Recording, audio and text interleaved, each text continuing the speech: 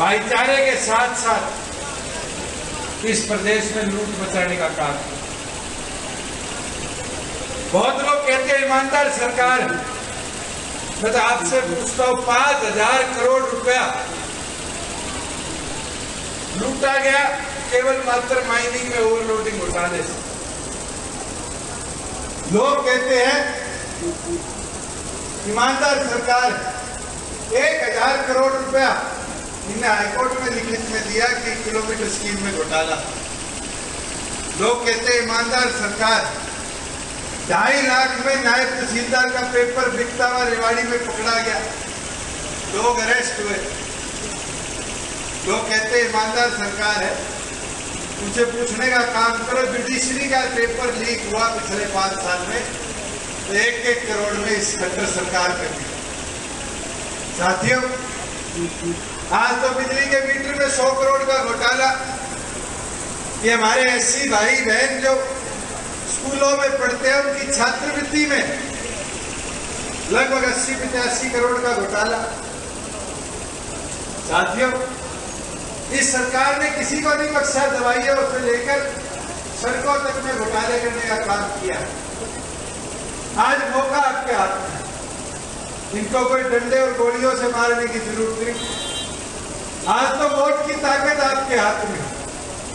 अगर मज़बूत होकर एक के एक वोट चाबी के बटन पर दबाओगे, तब प्रदेश में कमेगा राज आज तो हमें प्रण लेकर जाना है। नारा लेकर अगले 35 दिन काम करना है कि किसान को मेरे आगे बढ़, जीत ले अपना चंडीगढ़। उस चंडीगढ़ को फतेह करने के हम सबको घर घर जाकर चाबी का चुनाव चिन्ह पहुँचाने का काम करना। साथियों, खट्टर साहब अपने आप को ईमानदार कहते हैं। ग्रुप डी की सत्रह हज़ार नौकरियों के लिए अठारह लाख बच्चों के आवेदन है। और सत्रह लाख नौकरियों के अंदर जो एक चीज़ देखने को मिली, नौकरियाँ कौन सी? माली की धोबी की, बैलदार की, पीएम की, चपरासी की। कंप्यूटर ऑपरेटर की। जो शायद दसवीं और बारहवीं पढ़ा हुआ भी बच्चा पूरी तौर पर कर सकता वहाँ पर सरकार ने मजबूर कर दिया।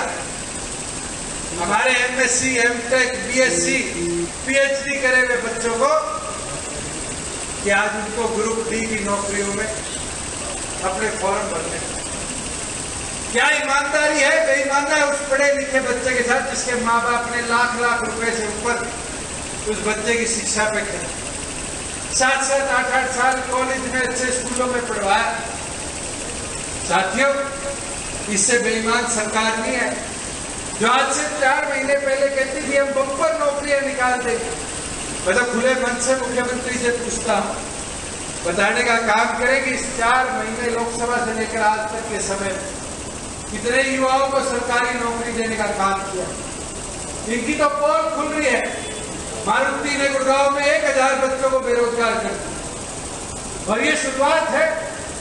अशोक लीलैंड ने पाँच दिन के लिए, सात दिन के लिए अपना प्लांट बंद कर दिया। हीरो होंडा ने बंद कर दिया। और साथ में अगर इस तरह चलता रहा तो जो ये पढ़े लिखे बच्चे आज कोई प्राइवेट नौकरी कर रहे हैं, इनको उस नौकरी से भी हाथ धोना ठीक कह रहे थे निशांत सिंह जी कि देश की अर्थव्यवस्था बिगड़ चुकी है। साथियों, आज देश के हालात और प्रदेश के हालात बद से बदहाल होते जा रहे हैं। प्रदेश भी डेढ़ लाख करोड़ से ज़्यादा के कर्जे में और देश की जो हालात, वो भी बद से बदहाल पिछले महीने 200 गाड़ियों की एजेंसी बंद। सीधा सीधा मतलब है चालीस पचास हज़ार लोग बेरोजगार आज हम बात करें प्रदेश की। तो प्रदेश के अंदर छोटे छोटे उद्योग दिन प्रतिदिन बंद होते जा रहे हैं। आज हमें बदलना है परिवर्तन लेकर आना। परिवर्तन बीजेपी नहीं ला सकती हरियाणा की सोच से सीमित नहीं। वो तो गुजरात मॉडल से सीमित है। आज एस टी इलेक्ट्रिकल की नौकरी निकली अस्सी। हरियाणा के बालक लगे दो। साथियों, क्या ये चाहते हो कि आपकी नौकरी जो आपके पानी, बिजली, ज़मीन पर चलती है, उसमें आपकी हिस्सेदारी समाप्त हो जाए? गुड़गांव जिला है, सत्रह लाख नौकरियाँ हैं प्राइवेट। ढाई तीन लाख हरियाणा हमें ताकत देकर देखो, पहली कलम से चौधरी देवीलाल ने पेंशन बढ़ाई थी वैसे पहली कलम से कानून लेकर आएँगे। और कानून ऐसा जो हरियाणा प्रदेश की हर सरकारी में, गैर सरकारी में, प्राइवेट नौकरियों के अंदर पिचहत्तर परसेंट हिस्सेदारी किसकी डालेगा? हरियाणा प्रदेश के मूल निवासियों के, आपके बच्चों के मेरे भाई बहनों